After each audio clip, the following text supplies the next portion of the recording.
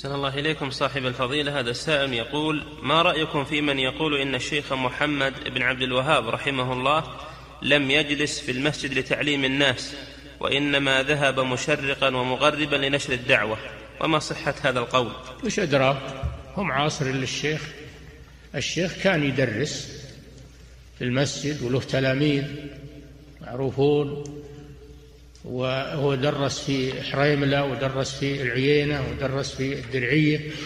كل بلد يأتيها يجعل فيها درس. وله طلاب مشهورون وأئمة كبار تتلمذوا عليه رحمه الله. ويرسل رسائل للأقاليم وللبلدان يدعوهم إلى الله عز وجل. يرسل رسائل هو بيروح هو ما بلغنا أنه راح وتجول إنما يرسل رسائل ويرسل مندوبين ودعاة.